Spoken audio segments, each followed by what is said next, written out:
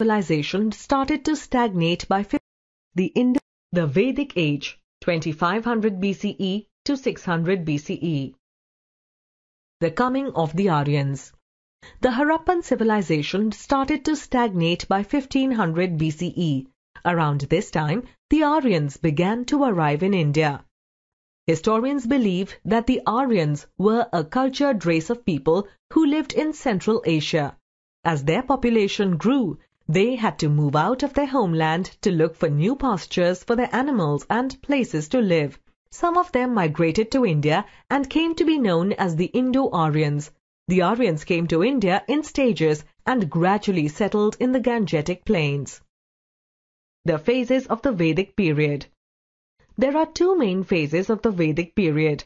The early Vedic period, 1500 BCE to 1000 BCE, and the later Vedic period, 1000 BCE to 600 BCE. During the early Vedic period, the Aryans settled in the Sapt Sindhu region and called it Brahmavarta or Land of the Gods.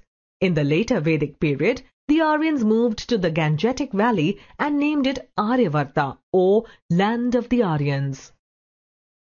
Vedic literature The religious literature of the Aryans are known as the Vedas. There are four Vedas, Rigved, Atharvaved, Samaved and Yajurved. These texts were composed verbally and passed down orally from generation to generation till they were finally written down. Brahman, the Upanishads, the Puran, and the two epics, Ramayana and Mahabharata, are the other important religious texts of the Aryans. These books are collectively known as the Vedic literature. They tell us a great deal about the social, religious, economic, and political life of the people during this period.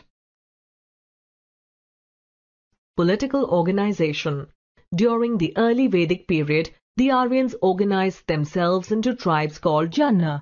Each Jana consisted of many villages called Gram. The head of the Gram was the Gramani. The head of all the tribes was the Rajan or king, who protected the tribe from the enemy. The Sabha and the Samiti were two councils which advised and guided the king. He was also assisted by the Purohit, religious advisor, and the Senani, commander-in-chief of the army. During the later Vedic period, the small tribes grew into large kingdoms. The king became very powerful and kingship became hereditary. The kings were assisted by many officials who were in charge of different departments. Many rituals and sacrifices, yagna, like the Rajasu yagna and the Ashwamedha yagna, were performed to confer supreme power on the king. Family life. During the early Vedic period, the joint family system was prevalent. The head of the house was the Grihapati. Women had a very important position in society. In the later Vedic period, the joint family became much stronger. Women lost their position in the society and were considered inferior to men. Education. The teacher imparted education to the students in his home. This was known as the Gurukul system of education. The students lived in the teacher's home and helped him with his household work. They paid the Guru Dakshina or fees when they finished their studies. Women also received education, but this stopped in the later Vedic period. Food. The Aryans ate wheat, barley, maize, fruits and vegetables. Soma and Sura were two intoxicating drinks they enjoyed drinking. They also occasionally ate meat. Dress. The Aryans wore an unstitched garment to cover their lower bodies. They had a shawl to cover their upper bodies. Both men and women wore ornaments. Turban-like headgear was also worn. Recreation. The Aryans were fond of hunting and chariot racing. They also enjoyed dance, music, art and board games. Classification of society The Aryan society was divided into four classes or varnas on the basis of people's occupation. The four varnas were Brahmanas, Kshatriyas, Vaishyas and Shudras. Brahmanas were priests and scholars, Kshatriyas were warriors, Vaishyas were farmers, traders and craftspeople. Shudras were laborers who did menial jobs.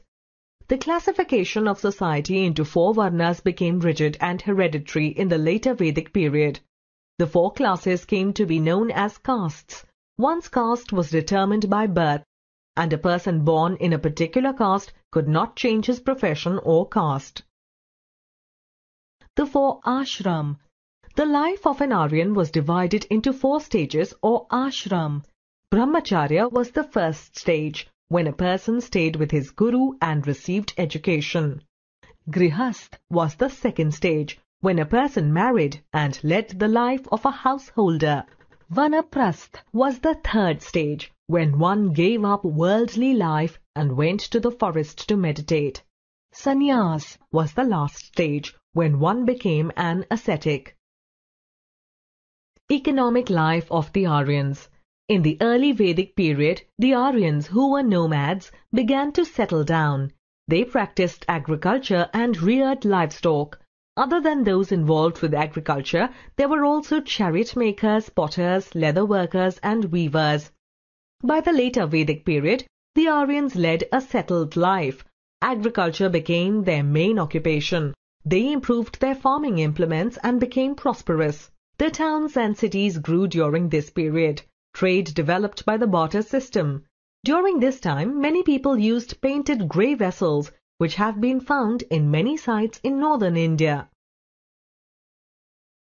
Religion The Aryans used to worship one supreme power who created the universe. They also worshipped the forces of nature in the forms of gods and goddesses. The most important god was Indra, the god of rain and thunder. Other gods were Varuna, the god of water, and Surya, the sun god. During the early Vedic period, there were no idols or temples. They worshipped their gods in the open. The yagnas were performed by the brahmanas and all the family members participated. In the later Vedic period, the earlier gods lost their importance. Brahma, the creator, Shiv, the destroyer, and Vishnu, the preserver, now gained importance. The mode of worship became complex and many elaborate ceremonies and rituals were performed. Buddhism and Jainism By the end of the later Vedic period, many evil practices crept into society in the name of religion.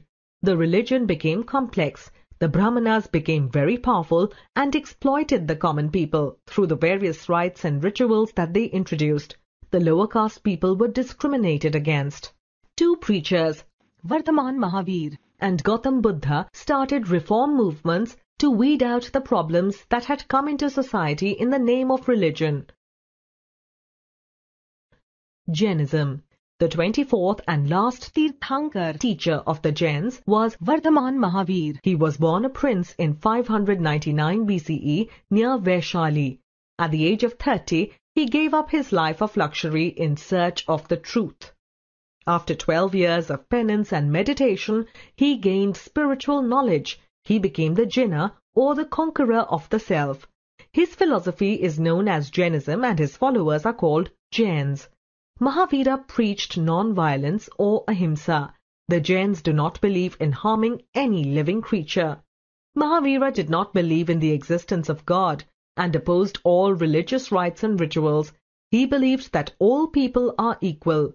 Mahavira died at the age of 72 in 468 BCE in Pavapuri in Bihar. Buddhism Siddharth, later known as Gautam Buddha, was born in Lumbini near Kapilavastu in 567 BCE. He was a prince, married to Princess Yashodhara and had a son named Rahul. One day, Siddharth saw an old man, a sick man, a dead body, and an ascetic. He was deeply saddened by these sights, which changed his life completely. At the age of 29, he left his home in search of truth. After six years, while meditating under a peepal tree in Bodh Gaya, he attained enlightenment and became the Buddha. He gave his first sermon at the deer park in Sarnath. Buddha's religious philosophy is called Buddhism, and those who follow the teachings of Buddhism are known as Buddhists. Teachings of Buddhism The main tenets of Buddhism are contained in the Four Noble Truths and the Eightfold Path. Four Noble Truths The world is full of suffering. The cause of suffering is human desire. Suffering ends when human desire is overcome. If desire is conquered, one can attain nirvana or freedom from the cycle of birth and rebirth. Eightfold Path Right belief, right speech, right means of livelihood, right memory, right thought, right action, right effort, right meditation. Buddha taught people to lead a simple life and follow ahimsa. He did not believe in caste system. Buddhist viharas and monuments are found in many places. His followers traveled from place to place to spread his teachings. Buddha died in 483 BCE at the age of 80.